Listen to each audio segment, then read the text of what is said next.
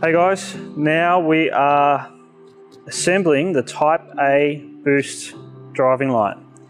In the Type A box, as with all the boxes, you have instructions. This colored picture here is really handy. So if you don't completely understand this video, look at this picture. It shows you the orientation of all the components Inside the box, you have all the plastic components in one bag, and then you have the bolts in another bag. You have two cages. So these are your type A cages. One is labeled one and one is labeled two. They are the mirror image of each other. So one is for the left hand side of the car, one is for the right.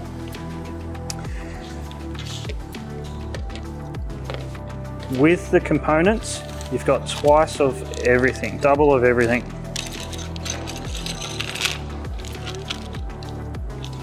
You have your pivot lugs, your adjustment screws,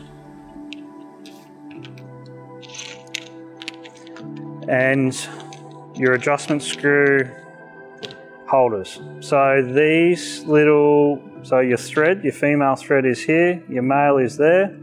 This small piece needs to click into this piece here. So that could be the first thing that we can do here. On this concave side, so the inner side, we want to click this into place.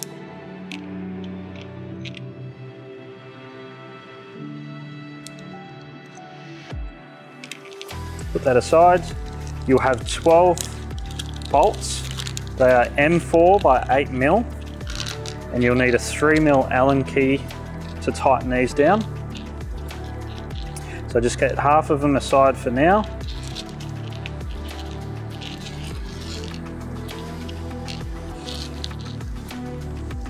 Open up your boost driving light. Keep the plastic on for now, you don't want to damage the lens. On the back, have the cord side closest to you.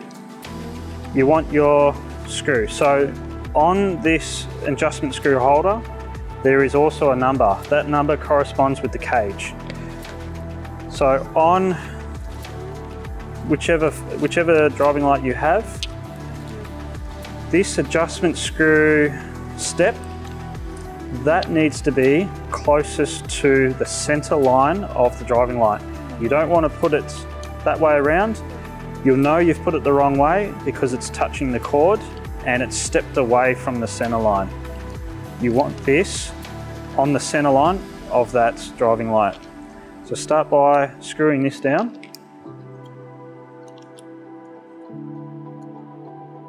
Get it started, don't cross thread it. So tighten that down nicely. Next step is your pivot lugs. So that's what is going to let your driving light aim and they need to sit in this position here. You'll notice there's a little divot here and the lug is off center to this little bolting flange. So you want this little lug to sit in this divot on the driving light.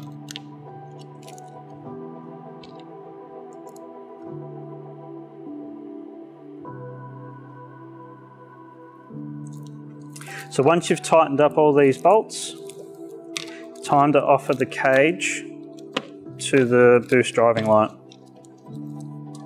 So the cord needs to exit from the side where the, the adjustment screw will be. So there is a little recess here. The other side is just straight across. So the recess is for this cord. On the side, obviously your pivot lugs need to line up with the females. Just stretch that, get one side lined up, stretch the other one across and just click that into place. Your adjustment screw, go through the hole, you'll see the, the female side, what you've clicked in earlier, will be lined up with that. If it's not lined up, you've done something else wrong, namely these uh, pivot lugs. Get that started. Just get a Phillips head screw, screwdriver, sorry. And once you have it, just aim the driving lights parallel with the front face. So this two bolt, this, this bolting face here, line that up with the front. So once it's in the vehicle, you want to do your fine adjust at night time. So repeat that onto the other side. It will be the mirror image of this. And when you go to your vehicle, line this up with the adjusting screw on the same side as the original fog lights.